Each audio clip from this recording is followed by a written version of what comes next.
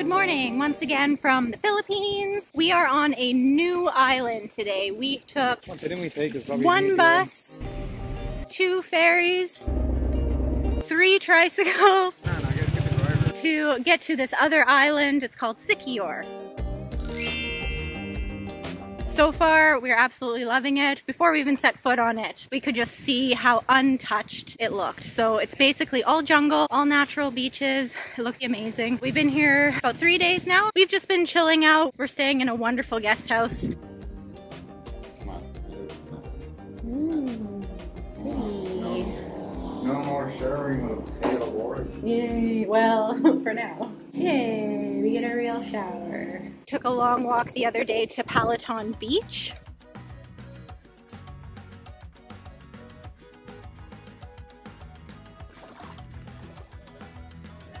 We've come to Paliton Beach. It's one of the most famous beaches in Siquijor, and I can definitely see why it's beautiful. The sand is so soft and the water is really calm, so it'll be really nice for swimming in. I haven't gone in yet. The water is so warm also, it's amazing. And there's hardly any people here. This is so weird.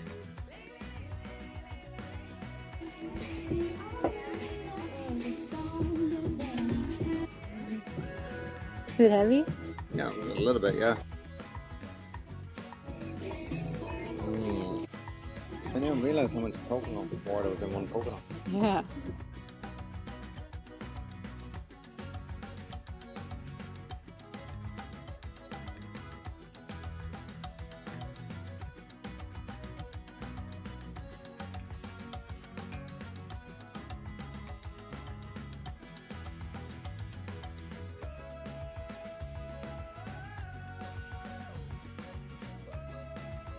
Now we're taking another walk inland of the island a bit more to one of the famous waterfalls here. It's called Lugnason Falls. Lugnason Falls. Not sure exactly how to pronounce it. Photos look amazing, so expectations are high.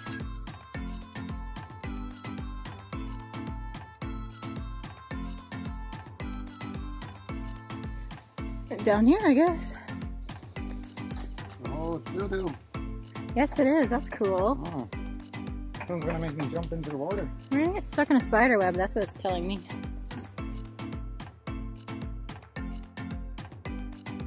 Whoa, this is tall. Holy cow. Definitely need this. It is hot, and that was a long walk.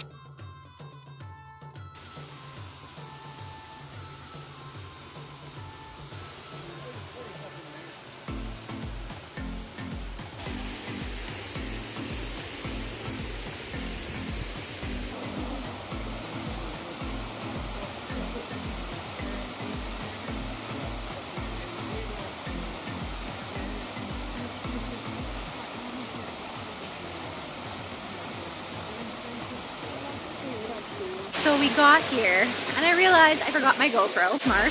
Um, so unfortunately, I can't take the underwater shots like I like to do. But it's so cool. It, the water is such a great temperature, cooling and relaxing after that super hot hour-long walk that we had to take. Could just sit in there forever. But there's these really cool underwater caves way in the back here that you can swim right in. And it's so much fun. And the water coming down off the top here is even warmer than the water that we're swimming in. So it's really nice. And like I said before, there's hardly anyone here.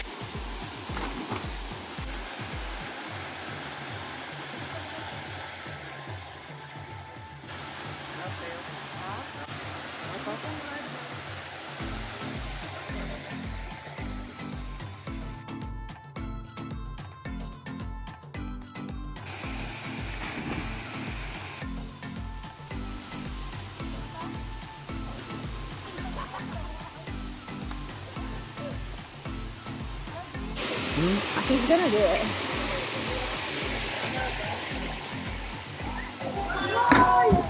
Oh,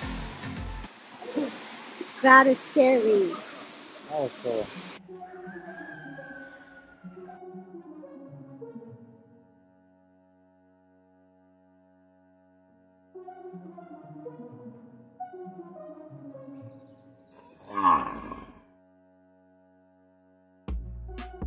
What did you think of Lugnason Falls? Very nice. Fluid, more serene, untouched. Wasn't touristy, wasn't gimmicky. True, yeah. it was to an extent. Felt like we were in the middle of the jungle, just Yeah. jumping in a waterfall. Yeah, pretty much. Yeah, the way it was meant to be. There was nice little places to, you know, have a snack, or there was nice rock features to sit on and get in and out, which is great. But it also just it didn't feel gimmicky. Like we've, you know, we've been to plenty of waterfalls where you just feel like a chump tourist. It was, what, 50 cents per entry? Yeah. And you can see there's good infrastructure in it, so I was like, yeah, alright, fair enough. hmm And they they must keep it clean. There's lots of foliage falling down, jungle bits that you know will accumulate, but they obviously were cleaning that up in the swimming area, which is nice. And especially after going to Kawasan Falls on Cebu, it was it was a really big change. Like we weren't forced to wear a uh, life jacket; we could actually enjoy swimming around in it. Yeah. Love that waterfall. Also, you may have noticed that my hair is short. Much shorter than it was before anyway. It's still pretty long by normal standards. For some reason, the ocean water in the Philippines and the humidity, I don't know really exactly what is causing it, but I'm having the hardest time managing my hair since arriving here. So a couple days ago, the last night we were in Moalboal, it was just a jumbled mass of chaos that I was never getting through with a brush. So I just had to take the scissors and just chop about half of it off. So yeah, that's fun. That's not exactly the way I wanted the hair to be cut, but it's not the end of the world.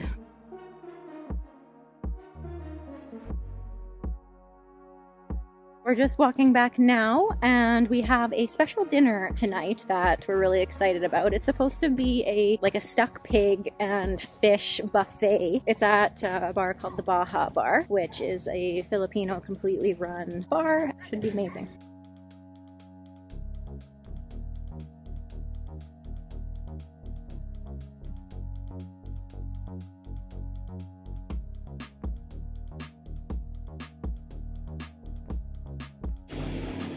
It looks incredible.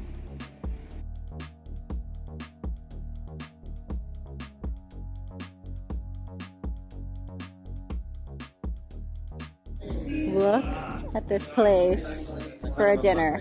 So the buffet is here. It doesn't start for another 15 minutes, so we are pretty early.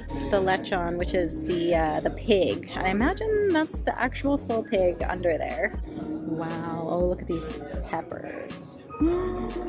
sea grapes salad. I've never seen anything like that before. Fries, of course, yes. Squid adobo, that'll be great. Sauteed string beans with ground pork. That looks really interesting. Oh, I'm so excited. This is gonna be so good.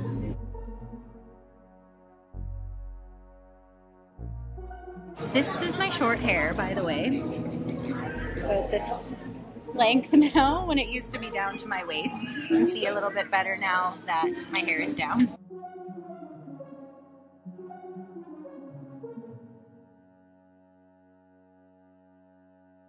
They have unveiled the pig.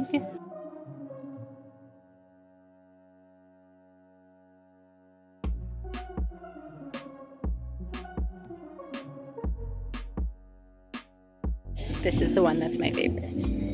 I was telling you earlier, but this place is absolutely amazing. Everything here is 100% local. So all the building materials that the building was made out of are made of local materials. Obviously all the food is local, caught locally, grown locally. Uh, even the beers are made at a local brewery, which is owned by the owner's sister. So everything is super local. Oh my goodness, I am notorious for overfilling my plate in buffets, but uh, this is uh, this one really takes the cake. How could I not though? Like this is like my favorite food. Uh oh, I didn't even get the crab. We also uh, went for the flight of the local beers, so that should be interesting.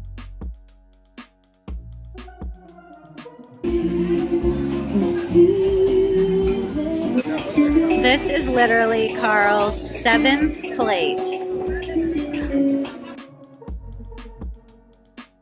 Pig is almost gone.